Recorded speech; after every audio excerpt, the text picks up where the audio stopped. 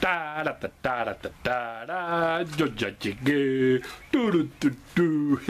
Hola, ¿cómo estamos? Bueno, yo ya estoy muy preocupado porque hoy llegan todos los simpáticos babosos y regentones y huevones del CENTE que van a ocupar todo el DF. Oye, oye, con estas marchas y con este mancera que nada más se dedica a hacerse así, miren, con el dedo, nada más se toca la nariz porque no hace absolutamente nada. Ay, ay, ay, este México no va a cambiar. Y la sorpresa de hoy, uhu, que en febrero disminuyó el empleo.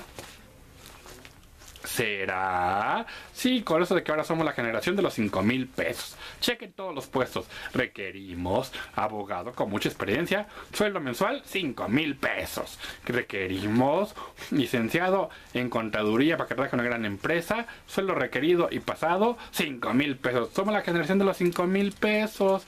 Y eso que que preciso dice que vamos a ganar mejor, pero en sus sueños. No, no, no, no, no, no. Las cosas cada día están más caras, están las cosas de veras a todo lo que da de la alza y los salarios están, pero para mentarles la M a todos los políticos, porque como ellos no tienen conciencia social, como no viajan el metro, no compran tortillas, pues les vale. Y eso hacen sus avalúos, yo no sé cómo, pero bueno, este país aguantará. ¿Hasta dónde? Bueno, ya me voy, porque si no, ya ni voy a poder viajar en el simpático aeropuerto en avioncito porque también les van a subir el TUA. No, no, no, este es el año de sube, sube, sube, sube y baja, baja, baja, baja el sueldo. ¡Ujú! Ya me voy. Tara, ta, tara, ta, tara. Así es el gobierno de México.